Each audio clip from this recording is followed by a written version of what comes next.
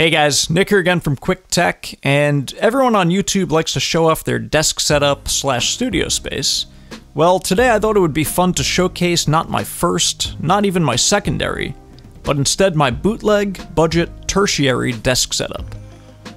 I'm going to walk you through all the budget peripherals and talk about what is driving the entire setup, making it a great additional workspace for when guests come over, want to dock, and get done.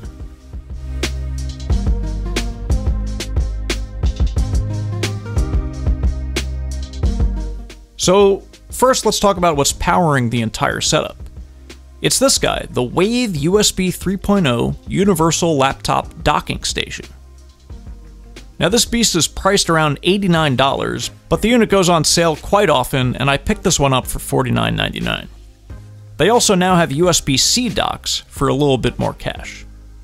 So inside the box is the unit, which is built like a tank, and then underneath are the accessories. So you get the DisplayLink USB 3.0 cable, a pretty large power brick, the power cable, and a DVI VGA adapter, which is certainly welcome.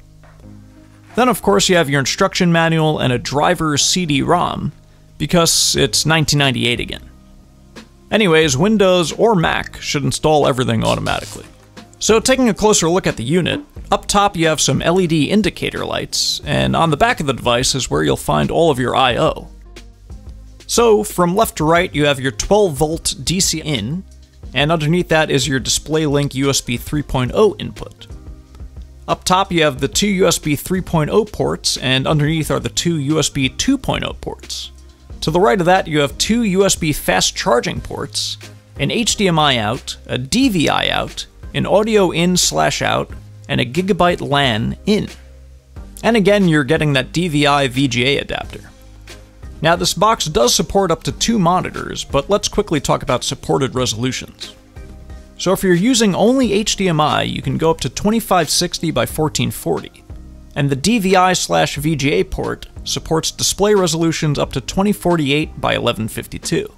If you do decide to have a dual display setup, the unit unfortunately only supports up to 1920 by 1200. Now let's talk about the peripherals. So they're not Bluetooth, but they are budget, which makes them perfect for plugging into the Wavlink's USB 2.0 ports. So anyone who wants to dock their laptop will automatically get access to the keyboard and mouse without having to think about pairing devices or finding that elusive USB receiver. This set is from a company called iStar, which are the same folks who made that Bluetooth speaker table that you may have seen earlier on the channel. The highlight of this set is obviously the keyboard, which is built to mirror an antique typewriter. I really dig the circular keys, which have quite a bit of travel on them while typing. I've never experienced any connection issues thus far, and all in all, I'm really happy with the aesthetics and functionality of the keyboard. Paired together on the same dongle is, of course, the mouse, and this is as basic as it gets very light in the hand, infrared style, and has a scroll wheel. This definitely will not be replacing my Logitech MX Master anytime soon. But as part of a budget setup, this gets the job done and is surprisingly usable even while gaming. The laptop that I have connected to the setup when friends and family aren't visiting is usually this Asus that I picked up from Facebook Marketplace for around 120 bucks. For that price, I got myself 8 gigs of RAM, a 256 SSD drive, and an AMD A10 7400 Radeon R6, which boasts up to 10 cores, 4 for the CPU and 6 for the GPU. Now using a DisplayLink box over USB can be somewhat of a resource hog. However, I've still been able to run Adobe CC and some modern gaming titles without any hiccups. Although admittedly, I've mainly been using it as an excuse to revisit Skyrim, which runs perfectly fine on super high quality settings. For audio, I just have this cheap pair of computer speakers that someone was throwing out. I saw that they were red and were advertised to play audio, so I scooped them up. For now, I just have them hanging out of sight below the desk on top of the windowsill. Again, I wasn't really trying to win any design awards for the setup, just mainly going for budget and functionality. Before I wrap up, I guess I'll mention the desk. This is actually a kitchen bar table from Target that I've had for around 12 years now. It has a hinge so you can increase your desk real estate at will.